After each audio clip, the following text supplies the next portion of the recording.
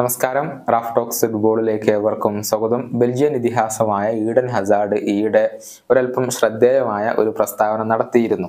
അതായത് സൂപ്പർ താരം ക്രിസ്ത്യാനോ റൊണാൾഡോയേക്കാൾ മികച്ച താരം താനാണ് എന്നായിരുന്നു ഈഡൻ ഹസാർഡ് അവകാശപ്പെട്ടിരുന്നത്. ക്രിസ്ത്യാനോ റൊണാൾഡോ കേവലം ഒരു സ്ട്രൈക്കർ മാത്രമാണെന്നും അദ്ദേഹത്തെക്കാൾ കൂടുതൽ കളിമികവ് തനിക്കുണ്ട്. അങ്ങനെ താൻ കളിച്ചിരുന്നു എന്നുമാണ് ഈഡൻ ഹസാർഡ് അവകാശപ്പെട്ടിരുന്നത്.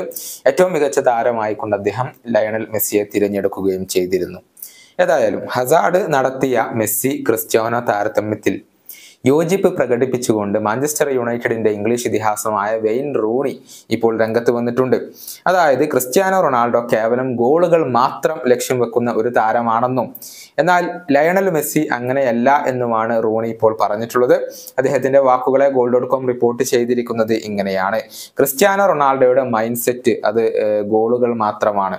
അദ്ദേഹത്തിന് അത് മാത്രമാണ് വേണ്ടത്. മറ്റൊന്നും തന്നെ അദ്ദേഹം കാര്യമാക്കില്ല. എന്നാൽ ലയണൽ മെസ്സി അങ്ങനെയല്ല. മെസ്സി കൂടുതൽ കളിക്കുന്ന ഒരു താരമാണ്. ഹസാർഡ് പറഞ്ഞ അക്കാര്യത്തോട് യോജിക്കേണ്ടി വരും. ഞാനും കൂടുതൽ കളിക്കാൻ ആഗ്രഹിച്ചിരുന്ന ഒരു താരമാണ്.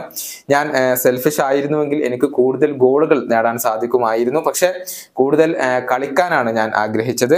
ഫുട്ബോൾ കൂടുതൽ ആസ്വദിക്കാൻ ഞാൻ ആഗ്രഹിച്ചു. അത് തന്നെയാണ് ഹസാഡ് അർത്ഥമാക്കിയിട്ടുള്ളതും. ഇതാണ് വെയിൻ റൂണി ഇപ്പോൾ ഇതേക്കുറിച്ച് പറഞ്ഞിട്ടുള്ളത്.